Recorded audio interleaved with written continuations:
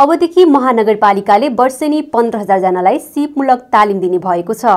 सामाजिक सञ्जाल मार्फत महानगरका मेयर बालिन शाहले वर्षेनी पन्ध्र हजारजनालाई सिपमूलक तालिम दिने र पन्ध्र हजारमध्ये पाँच हजारजनालाई रोजगारी दिने जानकारी दिएका थिए। महानगरको बेरोजगार समस्यालाई तीन वर्षभित्र समाधान गर्ने गरी रोजगारी र आय वृद्धि काठमाडौँको समृद्ध गौरव योजना तथा श्रम बैंक स्वर्णिम योजना सञ्चालनमा ल्याएको हो। सहरी योजना आयोगका सदस्य शैलेन्द्र झाका अनुसार आज आइतबारसम्म पन्ध्र सयजनाले तालिम लिगिसकेका छन् भने सहभागिता हुनेको सङ्ख्या बढ्दो छ। उनका अनुसार अहिले automobile mechanical art and culture beautician लगायतका अन्य तालिमहरू सुरु भइरहेको छ। स्वागत छ सर। धन्यवाद। हजुरको शुभ नाम? मेरो नाम शैलेन्द्र झा म सदस्य सहरी योजना आयोग काठमाडौँ महानगरपालिका। हजुर सर यहाँ तालिम भइरहेको छ। आज तिन दिन भयो। यहाँको बारेमा थोरै भनिदिनुहोस् न।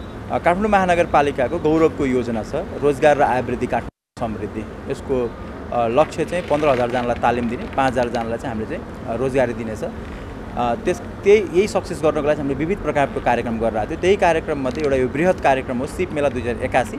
यसको यसको लक्ष्य चाहिँ दुई हजार एकासीजनालाई हामीले तालिम दिनेछौँ। यहाँ चाहिँ के के तालिम भइरहेको छ?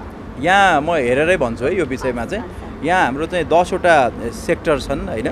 दसवटा सेक्टरमा चाहिँ तिसवटा तालिम भइरहेछ। पहिला चाहिँ उन्तिसवटा थियो एउटा चाहिँ हामीले चाहिँ अहिले डिमान्ड आएर त्यो थप्यौँ होइन? दसवटा सेक्टर चाहिँ के के हो भन्दाखेरि चाहिँ automobile construction hospitality and management information and information communication and technology mechanical art and culture garment beautician designing पुरोहित गरेर चाहिँ हाम्रो चाहिँ दसवटा सेक्टर छ। यो हरेक सेक्टरमा चाहिँ डिफ्रेन्ट अकुपेसनहरू छन्। In total they are thirty thirty occupations हजुर अहिलेसम्म चाहिँ कतिजना हुनुहुन्छ तालिम लिनेहरू?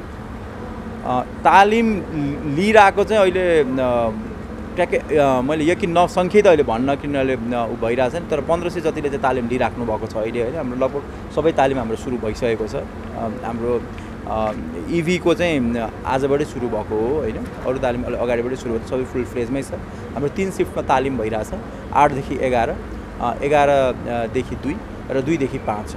यो सबै किसिमको तालिमहरू चाहिँ एउटै समय अवधिको हो कि यसमा चाहिँ कस्तो समय अवधिहरू? होइन होइन। यो समय अवधि फरक छ यहाँनिर होइन। अब यो समय अवधि पनि त्यहाँको कोर्स कन्टेन्टको निड अनुसार छ नि। जस्तो फर इक्जाम्पल मैले यहाँनिर ब्युटिसियनमा चाहिँ नेल आर्ट र makeup makeup art eye eye lashes art hair cut and styling र सलो हुन्छ सबैको ड्युरेसन एउटै छैन।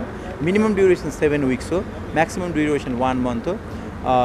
इच डे थ्री आवर्सको सेसन हुन्छ। हजुर हामी यहाँ आइपुग्दासम्म चाहिँ क्लास सुरु भइसकेको थियो थियो होइन? त्यहाँ गएर चाहिँ अब हामीले डिस्टर्ब गर्न मिलेन भन्ने कुराहरू आयो। उहाँहरूको प्रतिक्रियाहरू के छ हजुरहरू? होइन उहाँहरूको प्रतिक्रिया एकदमै राम्रो छ। मैले क्लास डिस्टर्बको विषयमा अलि अलिकति मैले तपाईँलाई भनिहालौँ। यदि मिडियालाई चाहिँ उहाँहरूको चाहिँ ट्रेनी र ट्रेनरको फुटेज चाहिन्छ भने चाहिँ हाम्रो तालिम आठदेखि साढे आठदेखि एघार हुन्छ एउटा सिफ्ट एघारदेखि दुई हुन्छ अर्को सिफ्ट र दुईदेखि पाँच हुन्छ। सो मिडिया चाहिँ साढे दसतिर आउनुभयो भने चाहिँ एउटा ब्याच चाहिँ आउने ब्याच चाहिँ रेडी भइरहेको हुन्छ होइन?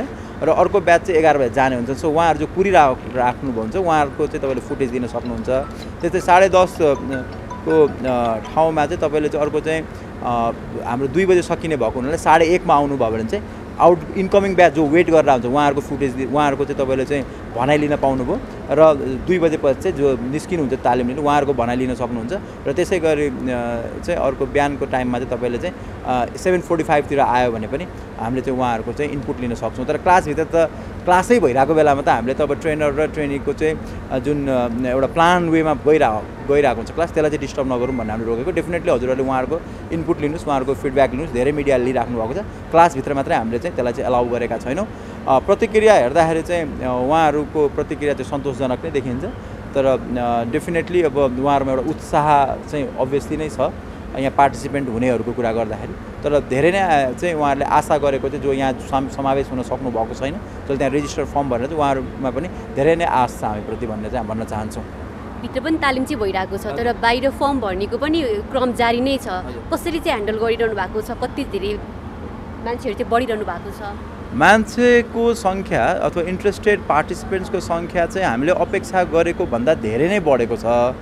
यसलाई हामीले पोजिटिभली नै हेरेका छौँ र सँगसँगै यसलाई चाहिँ एक रूपले चाहिँ हामीले च्यालेन्ज पनि हामीले फिल गरेका छौँ। किनभने अब यो धेरै यो अपेक्षालाई हामीले पूर्ति गर्नको लागि चाहिँ हामीले धेरै नै इन्भेस्ट गर्नुपर्ने हुन्छ। हाम्रो टाइम हाम्रो रिसोर्सेसहरू होइन? अनि र हामीसँग समय पनि फेरि कम छ होइन? तर उहाँहरूलाई चाहिँ अहिले हामीले एकोमोडेट गर्ने चाहिँ हामीले चाहिँ म्याक्सिमम् फिफ्टिन थाउजन्डसम्म चाहिँ हामीले चाहिँ एकोमोडेट गर्ने हाम्रो लक्ष्य हो जसमा चाहिँ हामीले चाहिँ प्राइभेट कम्युनिटी र गभर्मेन्ट कलेजेसहरूमा र हाम्रै सामुदायिक स्कुलमा चाहिँ त्यहाँ डिफ्रेन्ट ल्याब्सहरू हामीले अलरेडी बनाइसकेको छौँ सहकार्यमा होइन? कति ल्याब हाम्रो अलरेडी बन्ने क्रममा सो एराउन्ड एट्टीवटा ल्याब्स हुन्छ। त्यो ल्याब्सहरूमा चाहिँ हामीले उहाँहरूलाई चाहिँ तालिम दिने हाम्रो प्लान छ। तर अब हामीले चाहिँ इम्प्लोइमेन्टको पाटोमा पनि हामीले चाहिँ उहाँहरूको अपेक्षालाई अपेक्षा अनुरूप नै उहाँहरूलाई चाहिँ बजारमा चाहिँ हामीले चाहिँ उहाँहरूलाई चाहिँ इन्ट्रोड्युस गर्न कि त ओजिटीमा हुन्छ कि होइन? अथवा हामीले एप्रेन्टिससिपमा उहाँहरूलाई लान सक्छौँ कि होइन? अथवा एउटा चाहिँ उहाँहरूले चाहिँ म होइन आफ्नो इन्टरप्राइज खोल्छु। त्यसमा चाहिँ अब त्यसमा चाहिँ केही वातावरण हामीले क्रिएट गरिदिनु पर्ने हुन्छ कि? यसमा चाहिँ हामी अहिले डिस्कस पनि गरिरहेको छौँ यसमा प्लान पनि भइरहेको छ यसमा काम पनि गरिरहेको छौँ। पार्टिसिपेन्ट्सहरूलाई चाहिँ हामीले सकेसम्म हामीले चाहिँ उहाँहरूलाई एकोमोडेट गर्ने उहाँहरूलाई सपोर्ट गर्ने माइन्ड सेटमै हामी हिँडिरहेछौँ। हजुर धन्यवाद sir thank you very much